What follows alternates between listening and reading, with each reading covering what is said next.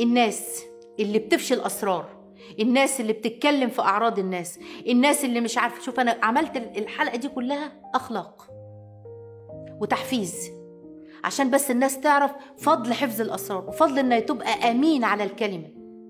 لكن تطلعي سر صاحبتك وتطلع وتصور ناس وتعمل ناس وتطلع الكلام ده وتهتك ستر أو تاخد في عرض مش من المروءه يا ابني مش من الرجولة يا ابني. والناس اللي زي ديت أنا بنصح البنات وخصوصا البنات عشان الموضوع جاي لنا المشكلة جاية من البنت النهارده. أنا بنصح البنات من فضلك يا بنتي اختاري بقى صح. وما تبقيش كتاب مفتوح. المشكلة إن البنات يعني عاطفيين. البنت تقول لها كلمة فيلا خلاص بقى يعني إيه أهي فرحت. ده عيطت دي صاحبتي ده ملهاش غيري. أصلا بتقول لي كده وهي عمالة تاخد وشين تاخد قدامك وتروح معرفش تعمل إيه. تاخد من قدامك وتروح الناحية التانية. نحافظ على الكلام ده. ويبقى في نراجع أنا نفسي أنا نفسي المجتمع يرجع تاني بروح الشريعة بروح الإسلام. مجتمع نظيف كل واحد يحفظ على التاني. مش كل واحد عمال يهتك في ستر أنا عمال أشوف ال watch اللي بيطلع لي ال watch الفيديوهات اللي بتطلع في في ال watch على على الفيس دي. إيه ده؟ إيه الجرايم دي؟ إيه كمية القضايا وال... وده وده اتكلم على ده وده فضح ده وده مش عارفه أصور مين وده هدد مين وده ابتز ليه ليه ليه؟ فين ليه بتعملوا كده؟ ده مش من الدين.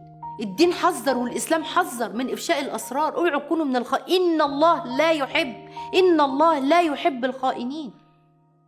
لما نقول إن الله لا يحب ده تتخض تترعب. أما تبقى فيك صفة ربنا ما بيحبهاش يا نهار أبيض ترجع تطلب من ربنا. أنتوا تخيلوا إن أنت رايح تكلم حد وتبقى محتاج حد وأنت عارف إن فلان إن الحد ده كرهك ما بيحبكش. إن الله لا يحب. طب ليه كده؟ وليه نقع تحت الطائله دي؟ يعني أدعو الله سبحانه وتعالى يا جماعة إن إحنا بجد بجد نبقى من الذين يستمعون القول فيتبعون أحسنه. وأدعو الله سبحانه وتعالى إن الحلقة دي تصل لقلوبكم لكل قلب كل بنت وكل شاب يتعلم منها الحاجات اللي إحنا قلناها. ويرزقنا وإياكم حفظ الأسرار. يرزقنا وإياكم الأمانة.